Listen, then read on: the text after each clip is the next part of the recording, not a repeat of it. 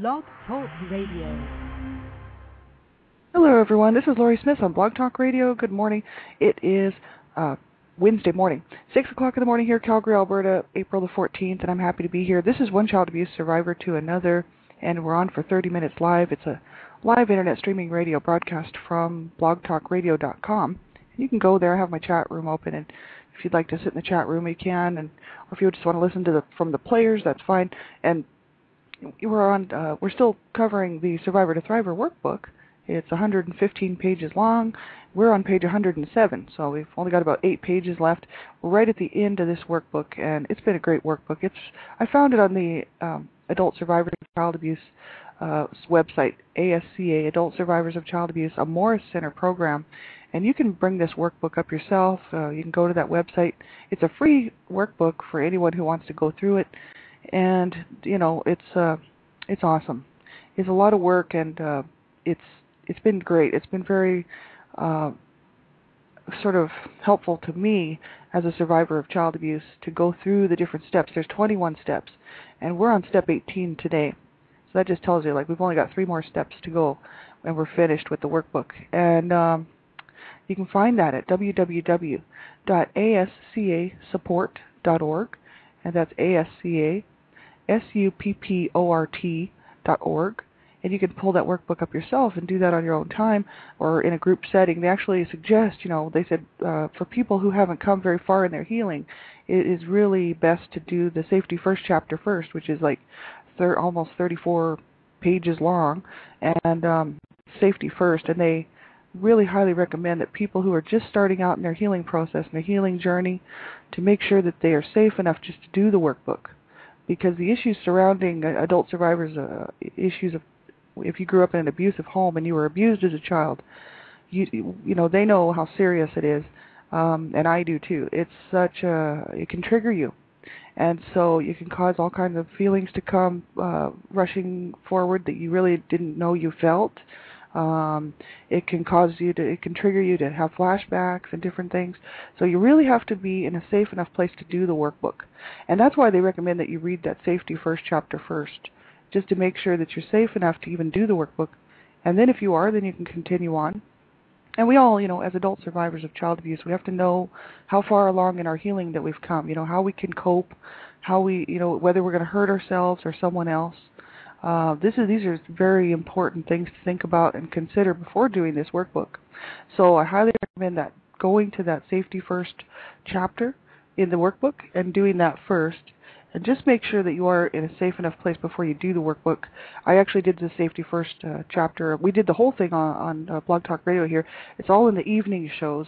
If if you want to go back and listen to um, what we were, what I was talking about with this workbook, it's in the evening um, that I did those shows, and you can. Uh, pick it, pick them out, right? Because I didn't do hardly any in the morning. I just changed it around just recently to do the morning uh, to to start in the morning because I only had 15 minute shows in the morning.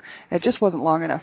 So um, I changed the shows to 30 minutes, and now we're doing um, the adult survivor issue stuff on this blog talk radio show instead of the other one because I just think it's more appropriate. Um, and it just seems like it'll work better. So you can go back and listen to those other ones, or you can just pull the workbook back up yourself and go through it. I, I really think everybody should go through the safety first part first, unless you've really come a long way in your healing and you're okay to do that. So you know, it's not a professional show, and I don't hold any professional counseling certificates or therapist certificates, and you know, I don't. Uh, this show is not to replace professional help, for sure. Um, I'm just a survivor of child abuse who I believe that child abuse is not spoken about enough, except for when we hear these reports on the news and we see you know reports in the paper of children who have died at the hands of par- uh, of parents or caregivers and uh, that's about all the news that we get and it's just unfortunate it's sad that that's all we're hearing about uh, we're not hearing about how we're going to stop this thing. We're not hearing about how we're going to make changes to help parents who are having a hard time so that they don't abuse their children or caregivers.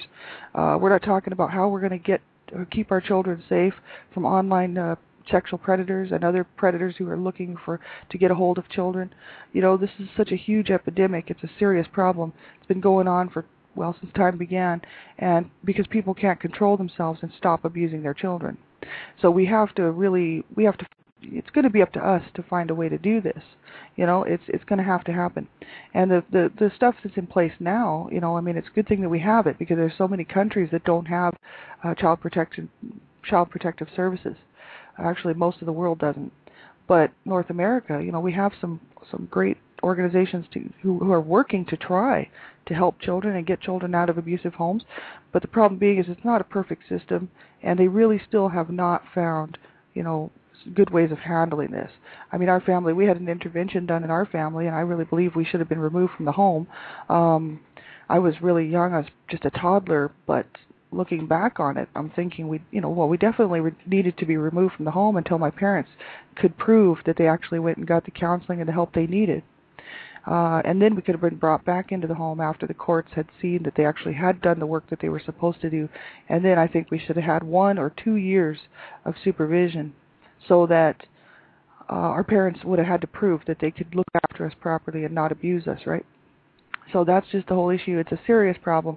We know what's going on, and it really has to stop. So that's why I'm doing this show, and um, you know, just to be one more voice out there, just to say we have to stop child abuse, and just another voice to say, you know, if you're a survivor of child abuse, you're not alone.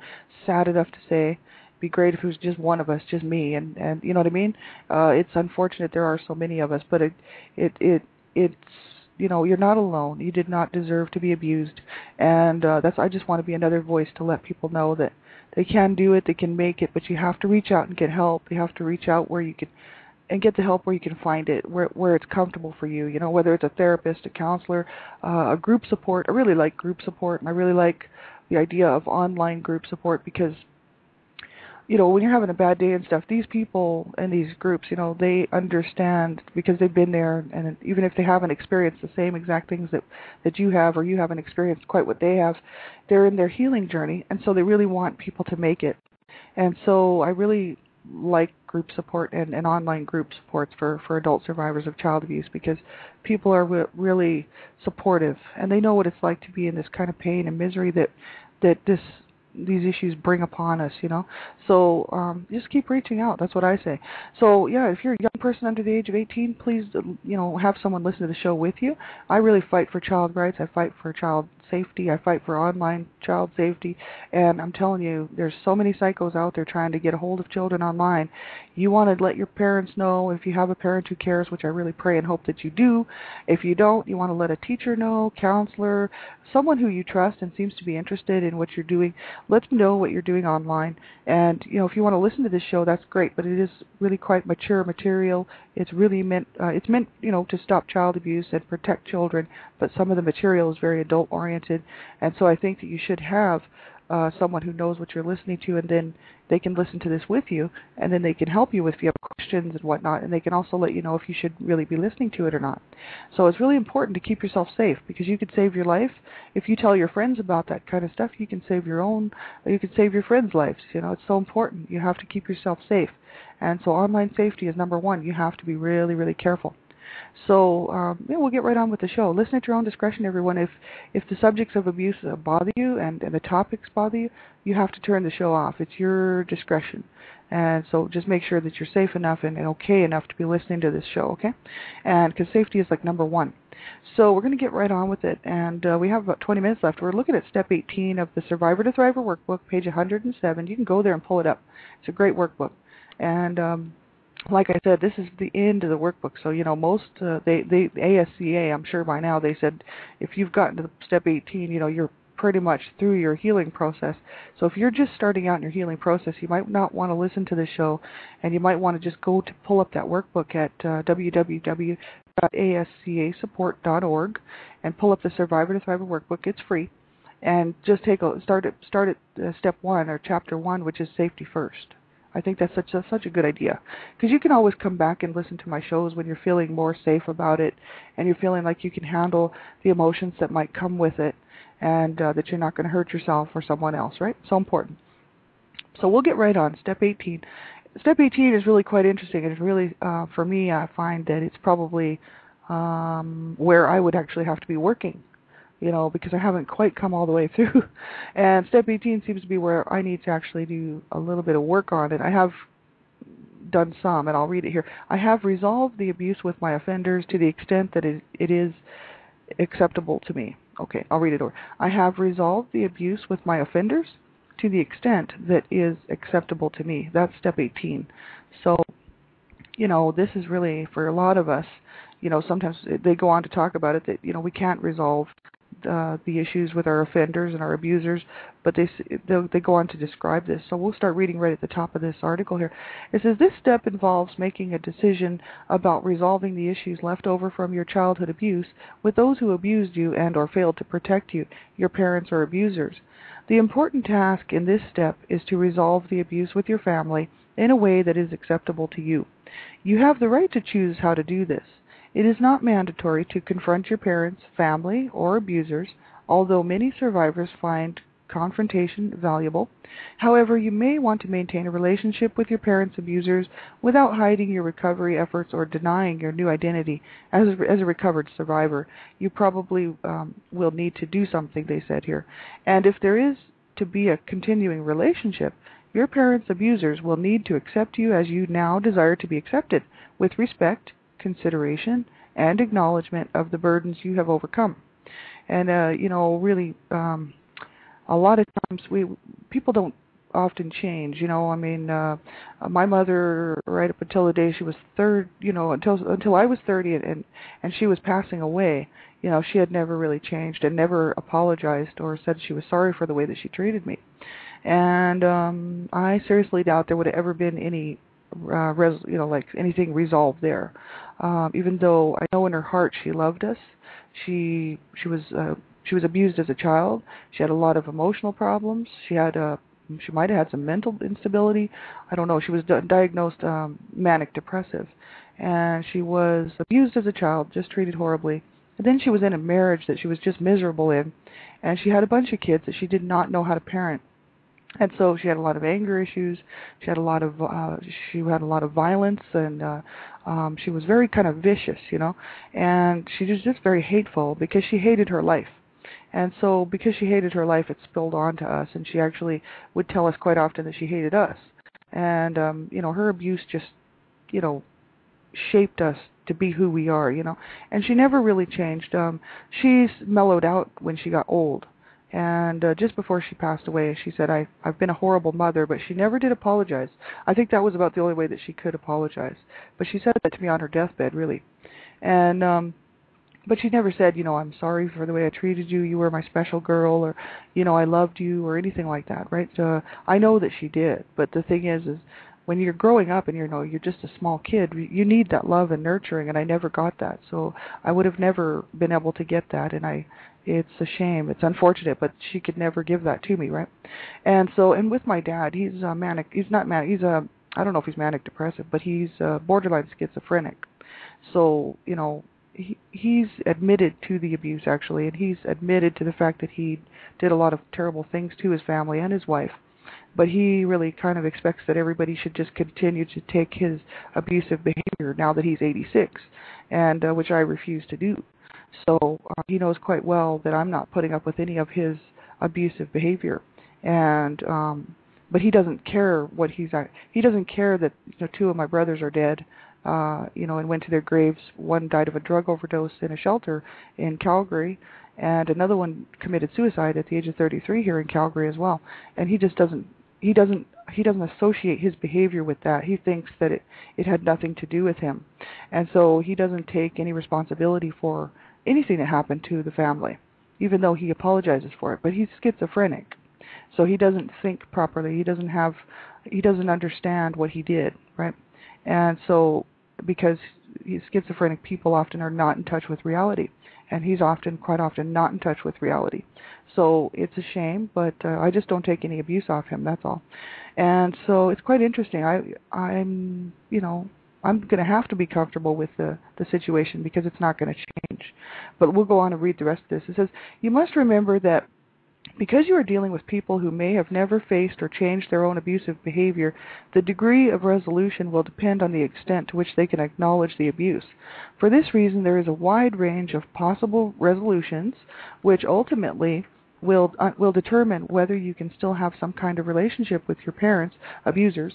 If you decide to confront them, it is critical that you go into it fully prepared for whatever responses or consequences follow. If they do not want to hear your experience or accept the person you are becoming, then you must face the question of whether ongoing contact will be healthy for you. And that's just huge, right? Um, you know, if they're not uh, like my family, I, I went uh, public with my story as a blog about well last October, November, and I decided to go public with my story just as a blog on Blogger and uh, because I needed to get it out because it was just kind of eating at me and killing me. And I didn't want to go to my grave with this uh, pain in my heart, you know. And I thought, no, I'm going to just speak the truth, and I don't care who likes it, because as far as my family goes, because people need to know the truth about abuse, and survivors need to know that they're not alone, and that their voice deserves to be heard, and uh, that they didn't deserve to be abused, right? So I thought, okay, I'm going public with my story because I'm going to I'd like to get involved. I, I, I'm the Canada Regional Director for Dreamcatchers for Abused Children, and I'd like to go out and do public speaking on behalf of child abuse victims and survivors, and on the behalf of Dreamcatchers for Abused Children to stop child abuse, right? So I thought, well, I'm going to have to go public because if I'm going to go do public speaking, I can't stand up there and just, if someone says, have you ever experienced child abuse? Have you been abused as a child? I'm not going to lie and say no. I thought, no, I need to be honest about this, get this out in the open eye, uh, out in the public, you know, and, and I don't mind, and that's great. But the thing is, I, I did take a good look at the situation and think about what it would do to my family, the, the remaining members, which there's only a few of us left, um, if I did go public. And I thought about it. I thought, well, they're not really in my lives anyway. I mean, they're not in my life. They don't support me um, as far as my healing journey goes. Uh, one of my brothers actually has been ignoring me for the last three years and another sister is there for me, but she will not acknowledge the abuse that happened to me. She'll acknowledge kind of what was going on in the family, but she will not acknowledge that she was there and she saw the abuse because she was there. Um, so it's unfor. I think maybe she had blocked it or something. She might have blocked it out. It was very horrific. So I'm just thinking that um, it's possibly that you know uh, if I lost my family because I went public, uh, the remaining members, I didn't care because I've been on my own for so long anyway. With family, I've been on my own. So our family was never a family. So I'm used to actually not having that family, that closeness, you know.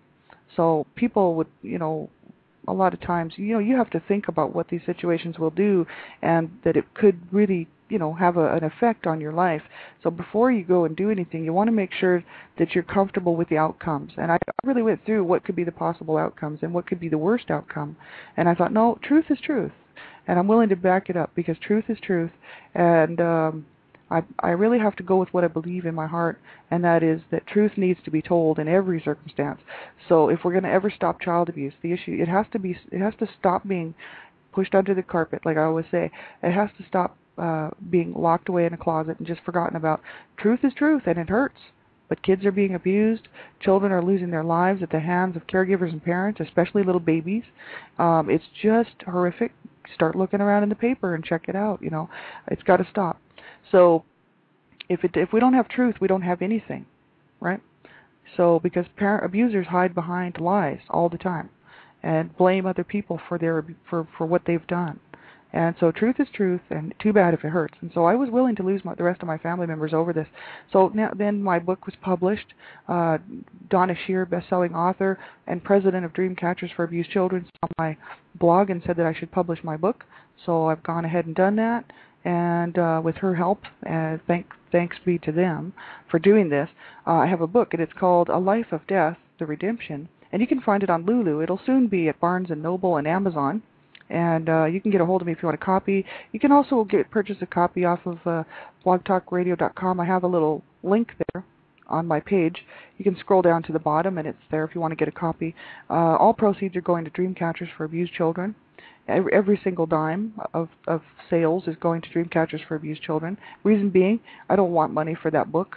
Uh, I wrote that story to uh, be a voice for my two brothers that went to their graves in silence and shame. I also wrote it to be to free myself from the from the chains and misery of keeping this whole thing silent and just pretending that it never happened. And I wrote this book for other survivors, you know, so that they'll know that there's hope, you know, and to keep going and, and that we deserve to be have a good life. We deserve to treat ourselves well. We deserve to treat to be treated well, right? And we deserve to have a good life. So there was many reasons I wrote that story, and um, I hope you'll pick it up. And all the proceeds are going to help stop child abuse, which is what I really want, and so it makes me happy. And so some of my, I think, you know, a couple of my family members have seen it. They're not, they have never talked to me about it. I think that they don't know what to say. You know what I mean? And um, that's just unfortunate for them. If they hurt me, they don't need to be in my life. Period. Because I have. Uh, come that far in my healing that I can just say, look, if you're just going to continue abusing me by treating me with, you know, disregard and and dis and, and no respect, you have no business in my life. You know, I don't take abuse from anyone now, and especially from my family, right? No way. From any family member, I just refuse. So you know, if they go away, they go away. I don't care, right? It's just that's, but I'm okay with that. So you have to be really careful when you decide if you're going to confront people, or, um, you know, you have to sit down and almost go through the steps of what's the worst case scenario, different things that might happen because of it, and because you want to be safe and you don't want to regress in your healing, so you want to be very careful. And I'll continue reading here. It says this step presents the big issue of whether to forgive your parents' abusers. In a sense, resolving the abuse means coming to terms with with what has uh, what was done to you and accepting the feelings you have toward the people that did it. For some people, this means forgiveness, but not necessarily for you. Those who were very sadistically and severely abused may never be able to forgive their parents' abusers. Accepting that the abuse occurred and putting it all behind you once and for all may be the only resolution that makes sense and feels right. Deciding whether to forgive or accept is your choice and no one else's. And that's very true um, you know, I mean, I I made a very conscious decision to forgive everyone who's ever done anything wrong to wrong to me in my lifetime because I would like to be forgiven for the things that I've done wrong to people. And I thought, you know, if I want to be forgiven, I certainly need to forgive. But I don't condone what they did. And so there's two very different steps to that for me. Um, you know, I forgive I forgive them. I really do but I don't condone what they did at all. I don't condone what any abuser does, and I don't condone abuse of any kind. And so, therefore, you know, I guess there was two parts to my forgiveness. Uh, one is so that I can feel good in my heart that, you know, that I'm able to do that because I'm the bigger person, and also because, uh, you know, I want to be forgiven for terrible things that I've done to people in my lifetime. You know what I mean? And so um, but also the fact that I don't condone abuse of any kind, so I don't condone what they did, and so therefore I just kind of have to accept it and trying to move past it, right? And so that's what that, that this actual uh, step 18 was about. They have self-help here, uh, suggestions from the ASCA, and also professional help suggestions from them, and they they list off these things here. We'll just go through them. Number one, review the section in chapter one. What about confronting my abuser or abusers? Although far from a complete discussion, it highlights some of the complicated issues involved in answering the questions. And number two, write some letters to your parents' abusers in your journal and then reread them a few weeks later. This will help you to develop your sense of what you may someday want to say to them. These letters are a working statement of your ma- message to your parents' abusers, and they may evolve over time until such time as you decide whether to confront them. I think that's a great idea to write these letters and not send them, but just keep looking at them, keep rereading them periodically, right? And then you can add to it or change it uh, depending on how you're feeling. And then you know you may get to be to a point where one day you'll just be like, okay, this is the letter I'm going to send. This is what I want to say. This is what needs to be said and then you can send that letter, right? And um, it'll be just exactly what you really need for them to hear. And I think that's awesome. And they do say for coping mechanisms, if you're just struggling with this, you can write letters to your parents and abusers, tell them exactly how you feel. If you don't, if you can't send them because your parents are, you know, you're not in contact with them, or let's say the abusers, uh, you know, they've passed on or something, you can write these letters anyway and then tear them up or keep them whatever you want to do. But it does help to actually get it out on paper. It really does. It's a release for these emotions and feelings that we're having and that and really to it's it's so important to be able to voice what happened to us. So it's very important to be able to voice it without hurting ourselves or someone else right? Because uh, we have to we have to make sure that we're not hurting ourselves and that we can stay safe right?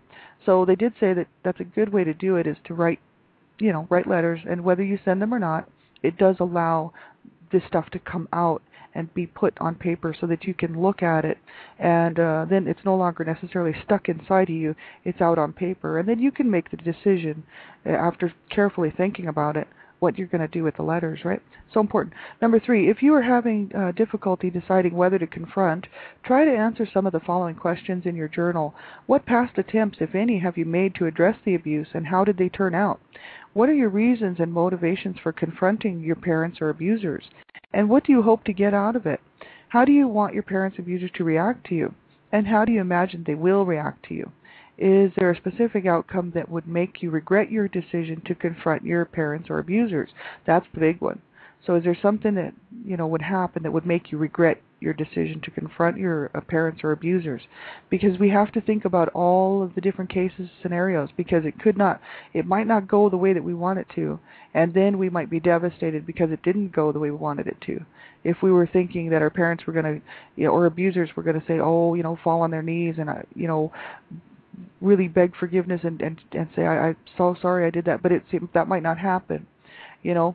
Or if if even if we were thinking that our abusers or parents were going to um, just acknowledge the abuse, a lot of times that won't happen, and so we have to be sort of aware of how we're going to feel if after we do confront them and so that we don't set ourselves up for a fall right? We don't want to fall back into and regress in our healing. So this is the whole thing. You want to be very cautious about this step, I really think, and um, just make sure that you know exactly how you're going to feel with each thing that could happen from confronting them and go through and, and make sure that you're okay with the with the outcomes of each one of those because it's so important. Here's their professional help uh, recommendations.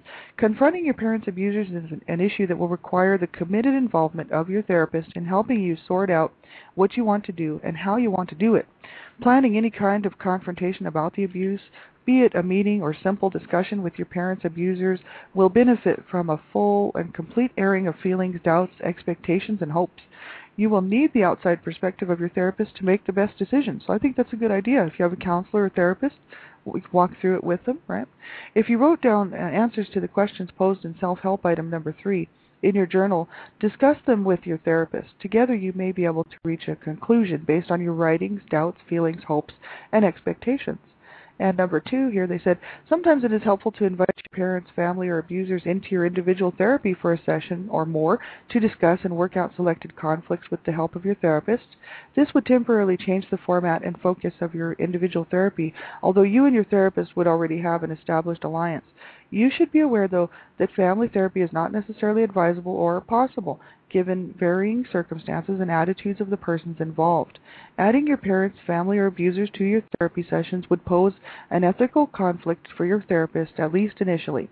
Obviously, any consideration of such a plan must stem from your desire for it and your belief that it would be pro- productive. Your therapist would also have to agree that the benefits of such an arrangement would out, outweigh the possible detriment. So there'd have to be more benefit benefits to it than more bad stuff, right? And if family therapy is your goal, then you will need to do a lot of preliminary planning as to what you want to say, what your goals are, and how you will deal with challenges to your point of view. If more extensive family work is ind- indicated uh, or indicated and or acceptable, you probably would find a separate family therapist who could be more neutral than your individual therapist. In general, therapy of this sort is most likely to be successful when your parents or abusers have done some work on themselves, or at least have admitted they have made a mistake. That's very important. And discuss with your therapist what you think and feel that the issue of forgiveness, about the issue of forgiveness. Explore what feels right to you, and your be aware that feelings about forgiveness, like any other symbol of resolution, may shift over time. So that's very true. And so that's all they had on that chapter. Tomorrow we're going to look at step 19, which is I hold my own meaning about the abuse that releases me from the legacy of the past. This is going to be a good one. So we have about a minute left, and I, I thank you so much for, for tuning in, and I hope this certainly helps you out, and I know it does help me. Um, um, yeah, like I'm the Canada Regional Director for Dreamcatchers for Abused Children. You can go on their website and check it out. They have some great information http dreamcatchersforabusedchildren.com. It's just a very healing site. I really enjoy going there and looking around and checking it out. There's such good information there.